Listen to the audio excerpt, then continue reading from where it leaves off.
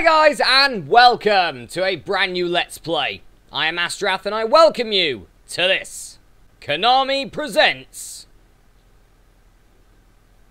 Uh, Konami Computer Entertainment Japan also presents at the same thing.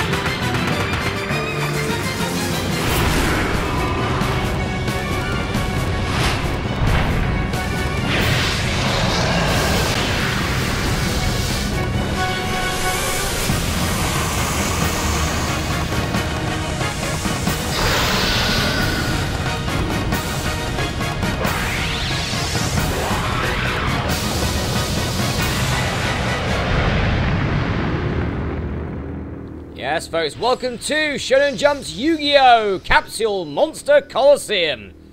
Uh, made by Konami for the Sony PlayStation 2. So, uh, this game I did, uh, I did a video of, I believe, for a New Year special, something like that. Um, and I've, I've been playing this game a lot recently, and I'm really enjoying it. So I thought, you know what, let's do Let's Play of it. Why not? Let's do a, a campaign mode and get into Tutorial Dump! Because the game has one, in the form of Yugi Moto. Great. You know, we have this, this, this here. Lovely film grain. Great. Welcome to Capsule Monster Coliseum. Thank you. Why does everything have smoke in it? Why is there a film grain filter on? You're just in time for the big tournament. For the film grain! Nothing but film grain. That is really bad film grain. Just saying. Capsule Monster Battle Tournament, sponsored by Film Grain, the best thing in the world. Ah, Film Grain. Oh no, Film Grain's still there. Never mind. Yugimoto and his alter ego, the Film Grain Man, which has, which has been trapped in the Millennium Film Grain. The puzzle, but a Film Grain. Well, at least we know what the first part's gonna be called. We'll use their wits and monster capabilities to defeat all their opponents to go against the final boss, the Film Grain, and then probably lose because the Film Grain is undefeatable. As they fight for the title bestowed o on only the best Capsule Monster Coliseum fighter. King of Film Grain! The Capsule Monsters. Bloody Film Grain, man. That's so bad. Like, what's the point with the Film Grain? Film Grain just makes things seem older. And not even well, either. Just saying. So the film grain has definitely retreated. Yep, all the way back to the uh, the final boss of the game. That is, uh, so we know our final boss is gonna be the film grain because film grain was everywhere in the first bit. But no, no, we're not gonna see the film grain again. There you go, no film grain. Film grain's in that volcano right there, just daring us to go against him. Bloody film grain. Submit entry, enter name. What I do like about this game at least is look at all those characters that we've got. Look at all those, like, loads of characters. I could put in the entire name of this channel. And I'll probably still have a few left. Let's have a look. Uh, yeah, this looks pretty good already. Um, A, M, I, N, G. Yay! There we go. Uh, fine. We're never going to be using versus mode. Okay, so, for a build start, play with the preset settings by selecting Purchase Starter Kit. Select Build Custom to create your own original arrangement. I'm going to for Build Custom because, sod it, why not? This is going to be a long video anyway, because there's a lot of tutorials at the start of the game. But regardless... Also, loading screens are a bit of a problem. They don't even... Well, they sometimes put loading. Anyway, create a symbol! Yay! The symbol attribute affects all of your monsters. Select an attribute that will give your monster an advantage in battle. So we have a choice of dark, fire, water, earth, wind. Looking good so far. Uh, wood. Really? Not plant? You're just going to go with wood. So, dark plant is a tree now, not a flower. Never mind. Thunder and light. So, um, I have been uh, wondering like which one I would pick. Um, for my first sort of run through, I picked fire uh, because well, fire's awesome. What can I say? You know, you can you can impress ladies with fire. Why not? Just not in the form of being an arsonist. But anyway, anyway.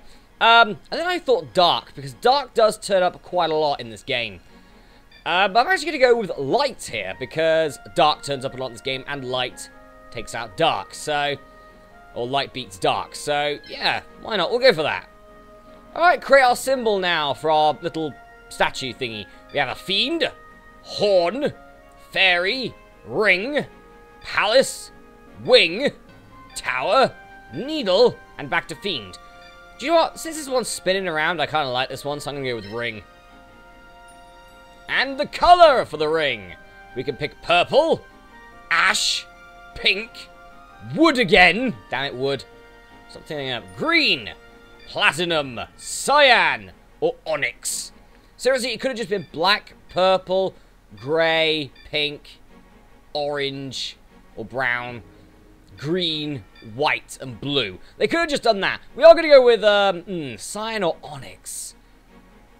Hmm. Not sure. Well, Master colours are blue and yellow, so you might as well pick cyan here, which is the closest one we get to that. You must assign all these points, so we have points now. Um, all these points have specific things that we can do. First off is monster points, MP, uh, which is pretty much your currency to buy monsters to uh, help you out. This is not like the Yu-Gi-Oh card game. It's a completely different beast, this one.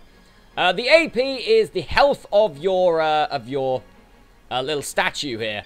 And PP is PP. Uh, PowerPoints, I believe. So let's let's put a little bit in PP. We really don't need much in AP, to be honest. So let's actually put... I'll tell you what we'll, do. We'll put 75 into PP. We'll put 75 into AP. And then we'll put... Fit, or, or into MP. And then we'll put the last 50 into AP. We'll do that. There we go. Now we have like 100 health. That's very nice. Anyway, enter! Yes, we are ready. I am satisfied with the settings. Thank you very much. A word like satisfied. Hmm. Yes, indeed. And now, the game!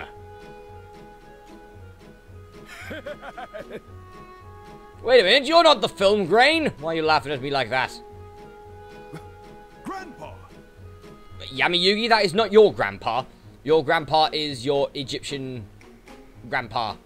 This is Yugimoto's grandpa, not your grandpa! Just saying. Ah, I thought you would come, Yugi. What are you doing?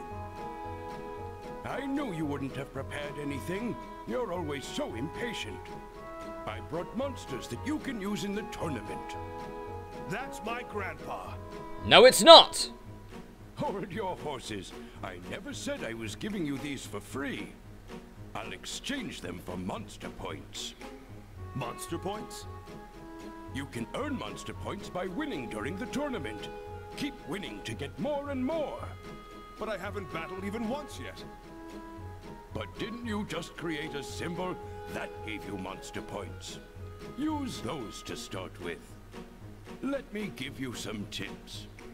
Monsters can be separated into light, dark, fire, water, earth, wood, wind, and thunder.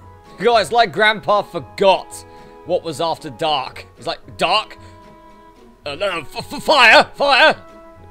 Film grain! That was it, film grain! Well, that's gonna be on a bleeding t-shirt in the next few years, I'll tell you that much. Film grain. Anyway, moving on. In other words, each monster has a different attribute. And each attribute has a different advantage and disadvantage. I'll explain what they are, but if you don't think you can remember them, I suggest you take notes. Because some of them don't make sense. Are you ready? Here they are.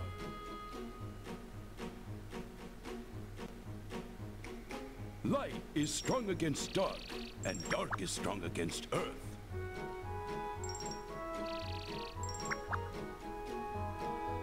Fire is strong against wood, and water and and wood is water is strong against fire. There we go. I've done it for you. Earth is strong against thunder, and wood is strong against wind. I keep cutting in too quick. But yeah, you, you get it though. Wind is strong against water, and thunder is strong against light.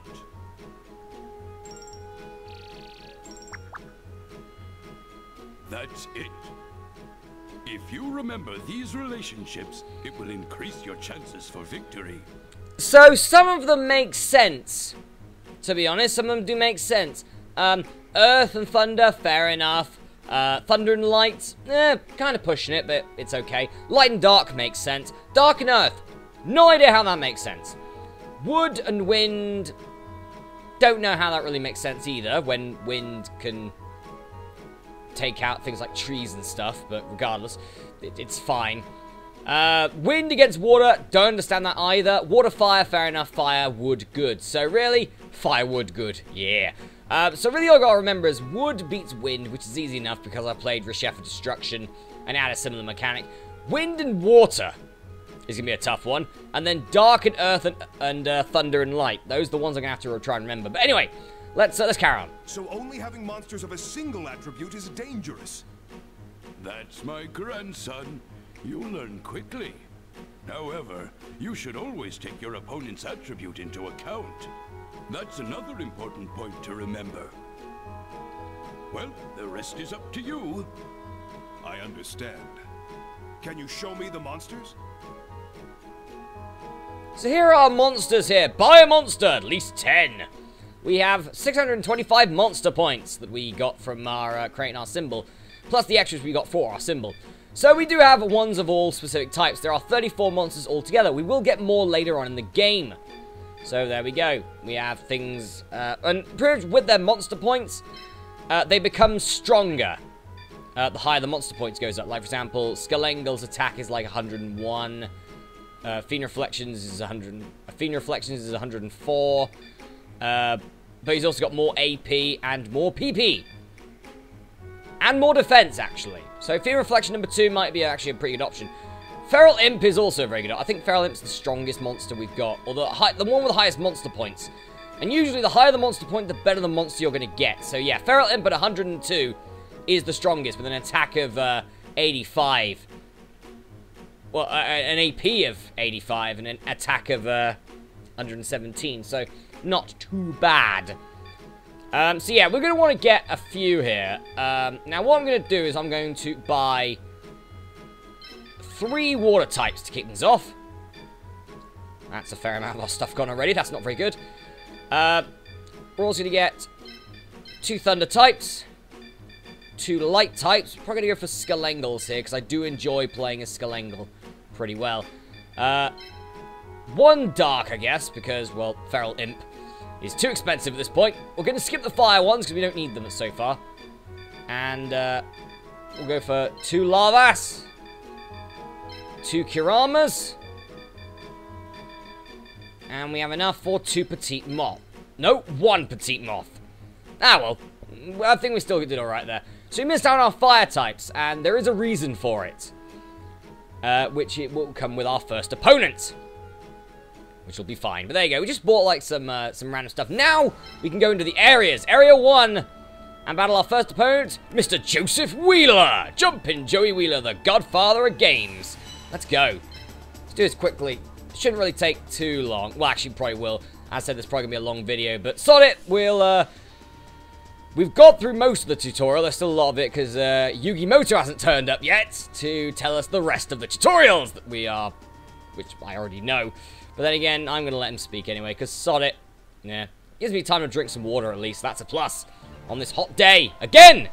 It's like three months of this so far. It's awful. Hey, Ayuk. I've been waiting for you. Joey! The one and only.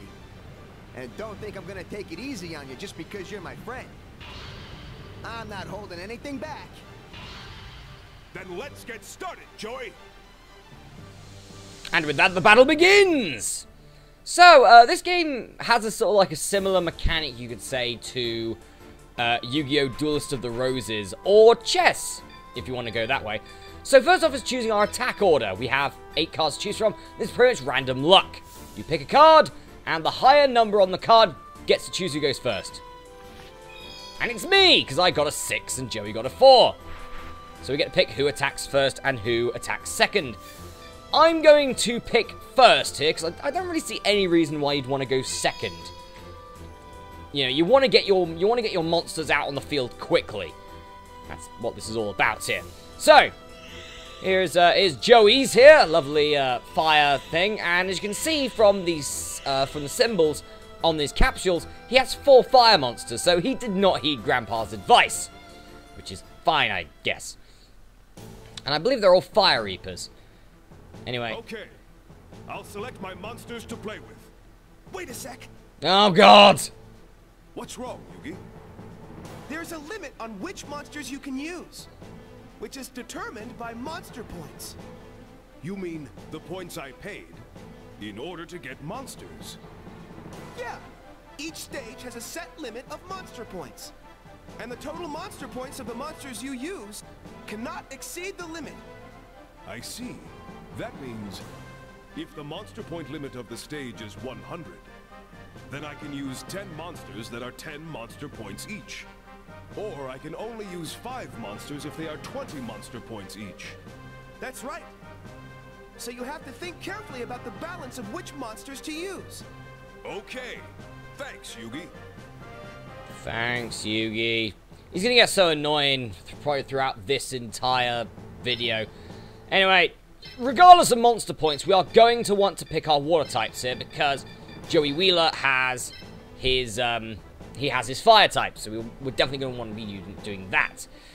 Uh, when it comes to everything else, we're probably going to want to pick our strongest stuff, so probably two Kuramas, maybe? Yeah, let's do that.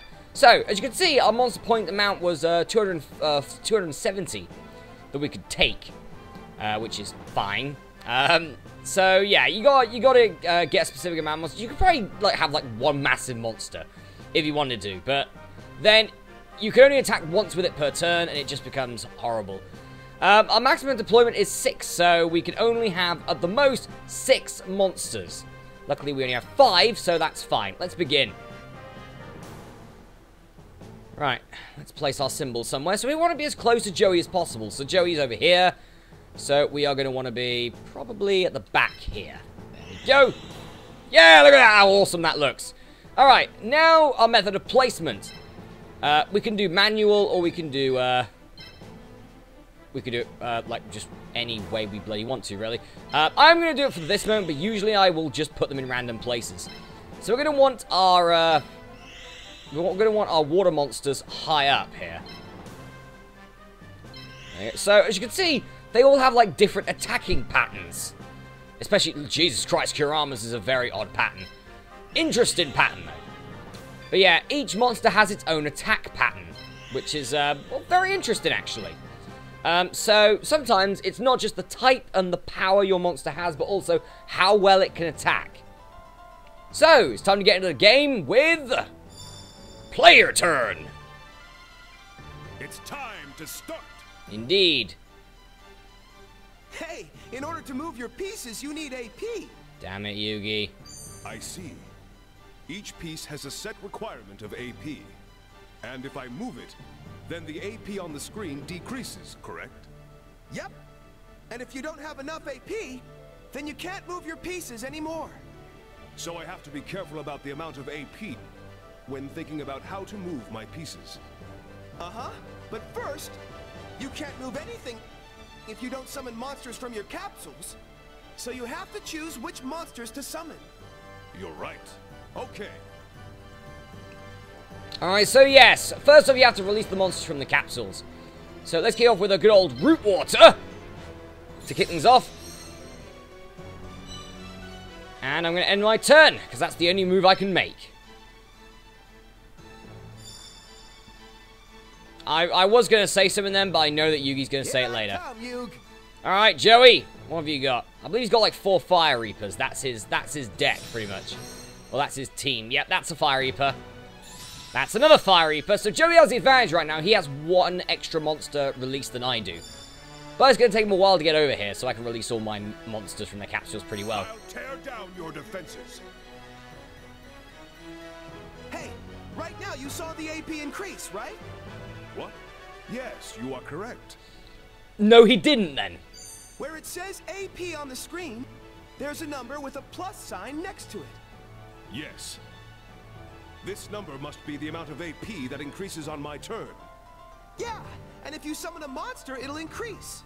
That means either I move a summoned monster, or I summon so that I can move more pieces.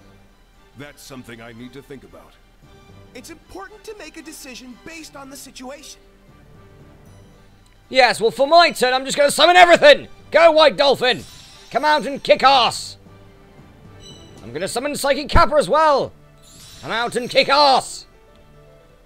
And I'm going to summon a Kurama as well! Come out and kick ass! Yeah! And that's the end of my turn. But now I can get like 287 AP for the next turn, which is pretty nice. It allows you to move your characters. You really are going to want to summon your characters first before you move them. I think even uh, Joey has the right idea. Never mind, he doesn't. He's leaving one in a capsule. I'm not sure if that's really a good idea or not. Because now I can release my last Kurama and uh, pretty much storm him. So, go, Kurama! Alright. So, now movement. We have 243 AP to move. As you can see, each monster has its own sort of movement and attack pattern. So, Psychic Kappa can move only two spaces, can't move one space in any direction, which is pretty nice. And it can attack, um, it, it can attack linear ability stuffy, so there you go. That terrain is not good for your piece's attribute. If the terrain is unfavorable, then its ability decreases. But if the terrain is favorable, then the ability increases. Yeah, you can check by looking at your piece's ability. I see. Then, I should be on the same terrain as my attribute as much as possible. It changes depending on the situation, but it's worth remembering. Thank you. Right, so moving on. This is favorable terrain because water. Common sense. Doesn't have to be explained. That much, at least. White Dolphin can actually move five, uh, three spaces and can attack one extra in sort of any of these angles. That's pretty good. Uh, Root Water, I think, is the same, only can attack two. Yeah, so it can attack the same amount as it moves, which is pretty nice. And Kurama can move in diagonals, three spaces, and can attack in any of the uh, angles to the sides of it or uh, in front and behind it, which is pretty nice. So already we are storming Joey's, uh, Joey's, Joey's, Joey's team here, pretty nice. He's probably going to summon his next Fire Reaper now. Yeah, should have it last turn because he would have got that extra 10 AP. Anyway, Fire Reapers can be a problem because I believe they can move two and attack two. But we're fine. Also, this can sometimes happen. Which is the arena changes. Joey's not happy about it because water! Go, my pieces! Yay! That didn't really help too much. You can't be serious. This can't happen. Well, it just did, Joey, I'm afraid. You're about to lose. Because I have my water dudes ready for action! So, 300 AP, that's the max we can use here. And I can move straight in with White Dolphin and attack my first uh, Fire Reaper. For a lot of damage, you can see 190, 161, which is nearly enough to beat him. Right, we show the battle animation once, and then we won't use it for the rest, because it just takes too long. But this is what it looks like. So, go White Dolphin! Come on out, White Dolphin, even though you look more like White sh Shark. With Horn. Attack! Horn! White Narwhal destroys you! And deals a fairer quantity of damage, 161, not too bad. 13 health left, and we gain some experience. Ah, this sucks big time. Indeed it does, Joey. So, next turn. It's time to destroy that Fire Reaper now with Root Water. Root Water attacks with Water Rooty Attacky Smash. Destroy! And we'll turn off the battle animation for this one. There we go. Down goes the Fire Reaper. 13 damage is more is just enough to take out the Fire Reaper. We have no idea how much damage that would have been, actually. less. Which is a bit of a shame, but oh well. Alright, so, Kurama, you're up. I'm going to move you over here for the moment. You're zigzagging your way, which is fine, I guess. And you, Kur Kurama, also zigzag your way. Zigzag. And last but not least, we'll move Psychic Kappa. Uh, over here, I guess, for the moment. And end, and that'll end my turn. So we were able to beat one of his Fire Reapers. Pretty nice altogether. I ain't gonna lose. Yeah, Joey, you are going to lose. You're against five monsters, uh, and at the mo- oh, you are attacking White Dolphin for 69 for 63 damage. Sorry, 63 damage, because I am on an it quick and advantage. That's my motto. Then let's get started, Joey. Indeed, for 63 damage. And White Dolphin has 225 health. You can need to do more than that. Oh, he's going straight in again. This time with his second Fire Reaper. Not sure if that's a good idea, really, because I do have a lot of monsters that can come along and crush you. That's fine. He's moving his uh, symbol. You can do that and move your symbol. He seems to be keeping one at the back for some reason. Which is, um, stage a comeback. Interesting, I guess. Alright, my turn. Kurama, what can you do? Nothing of worth. Actually, really nothing of worth. Fine, go over there. Go over there, Kurama. Okay. So, we have a second Kurama here. We have Psychic Kappa. Psychic Kappa can move over here, which is pretty good. And strike this Fire Reaper. Take that. Nice. Right, my White Dolphin is in a little bit of trouble. Ah, Yeah, ain't looking good, Joey. Uh, yeah. He's in a bit of trouble here, but I am going to kill this Fire Reaper first. Just to uh, lower your defense a bit, and that's a... That's, well, Root Water is a team kill... Is a team... Well, uh, is a kill-stealing git at this point. But there goes the second Fire Reaper. Just two to go. okay. It's the bottom of the ninth. Two out. Yes, baseball! That's not going to help you, mate. Sorry, Joey. Alright, we can move again, and we're going to move here. Because we need to. We need to move here and attack. We have to move here and attack, because as much as we could have... We could have him stay in the water, the Fire Reaper can... Uh, has better range than we do. What? So, that is obviously a bad thing. Last but not least, Kurama. Moved to where the formerly dead Fire Reaper was. Or was close to being, anyway. So there you go. End my turn. Right, Joey's turn. He's got one nearly dead Fire Reaper, one not dead Fire Reaper. That's now coming into play against Kurama. It's going to do a lot of damage to Kurama because there's no advantage or disadvantage. He might actually go for the kill on Kurama here. Which, uh, on an honest note, I would not mind. Deal. Then my monster Yes, your monster will not fall. Uh, is he? He's actually, yeah, he's actually going to destroy Kurama here. That is fine. So, actually what happens here is when one of your monsters is destroyed, um, when one of your monsters is destroyed, uh, it's like a Fire Emblem mechanic or like a roguelike mechanic where it doesn't come back. You're doing better than I thought, Joey. Yeah, and you go back to the start. there's more where But to be honest, from. It's Kurama. Just getting warmed up. So I can easily sacrifice a Kurama for victory. Also to save White Dolphin as well. Anyway, once again, Joey is getting screwed here, because here comes more water! More water for me, and not Joey. More water to save my ass. Go on, water. Fire up the... There you go. Yeah, take that, Fire Reaper. Now you're over there and you're in trouble, good sir. Okay, my turn.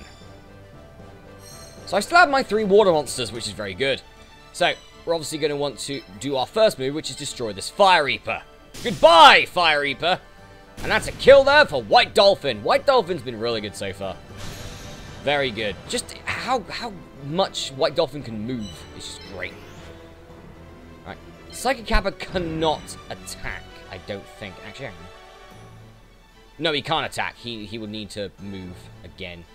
Damn it, Psychic Kappa is not very good here. At all. Kurama can attack.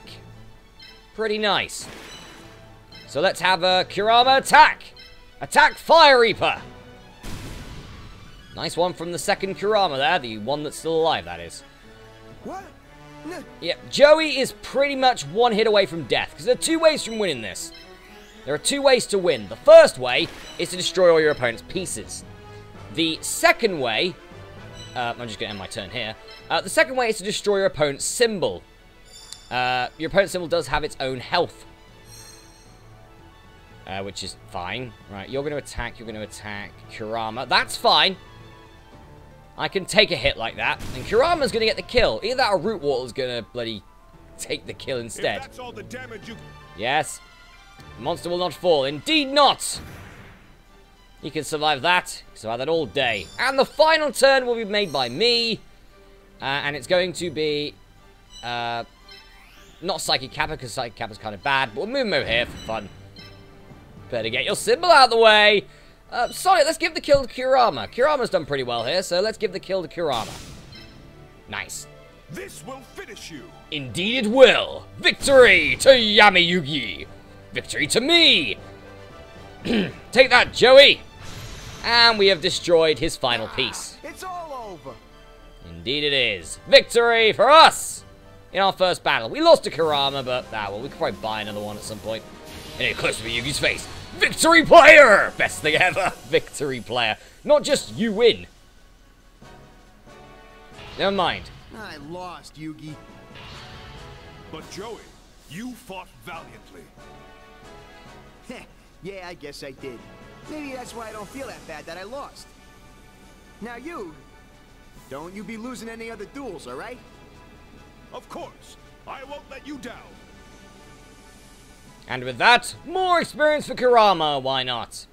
And we won. We lost a piece, but ah well, it was a it was a Kurama. We have a better Kurama who actually survived.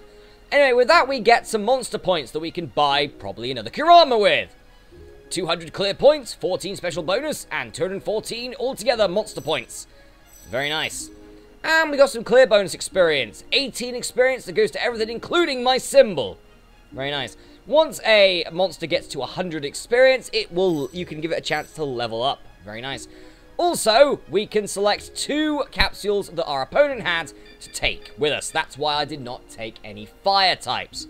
So we'll just take two Fire Reapers here. There we go. Thank you, Joey. Hey, Yugi, What's wrong, Joey? there's something I forgot to tell you about this tournament. There are five opponents in each area. And if you don't beat them all, you can't move on. That means I just defeated you, Joey, so I have to defeat four more opponents. Right. And if you clear four areas, a whole new path opens up. A new path? What's that? Like I know. Well, just keep winning. And maybe it'll all make sense later. So keep at it, buddy. Thanks, Joey. That's exactly what I'll do. Yeah, beat their butts. See you later. A new path. I don't know what the new path is, but we're traveling on our own road right now. No matter who we face on this road, we must win. And we'll do it together. Yeah! Pass me a bucket, please. Bloody friendship speeches! You've been hanging around Téa too long. Anyway, we'll save our game data here. Uh, but I am going to go for a break here since this is uh, like a 30 odd minute episode. As you can see, that's my current, uh, my basic save, so yeah. Anyway, we are going to save here, but the next episode, folks, of Let's Play Yu-Gi-Oh! Capsule Monster Coliseum, we're going to be taking on our next opponent. So I'll see you then.